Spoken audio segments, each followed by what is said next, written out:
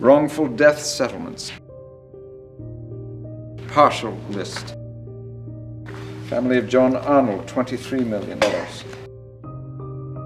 Family of Donald Gennaro, $36.5 million. Family of Robert Muldoon, $12.6 million. List goes on. British family on a yacht cruise.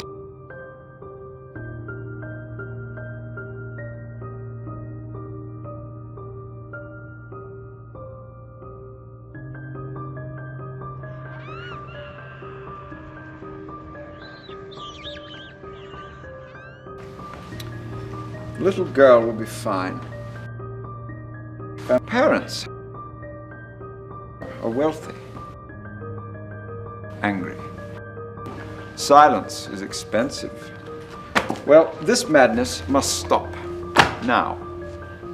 This corporation has been bleeding from the throat for four years. You have sat patiently and listened to ecology lectures while John Hammond signed your checks and spent your money. You have watched your stock drop from 78 and a quarter to 19 flat with no good end in sight. And all along we have held significant product assets that we have attempted to hide at great expense when we could have safely harvested those assets and displayed them for profit. Enormous profit. Enough income to wipe out four years of lawsuits, damage control, and unpleasant infighting, and the one thing, the only thing standing between us and this windfall is a born again naturalist who happens to be our own CEO. Believe me, I don't enjoy having to say these things about my own uncle. But I don't work for Mother Nature. I work for you.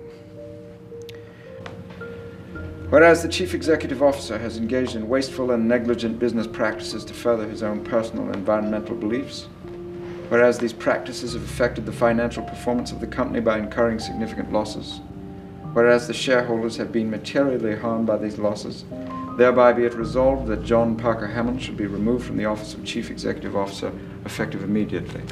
I move the resolution be put to a vote. Do I have a second?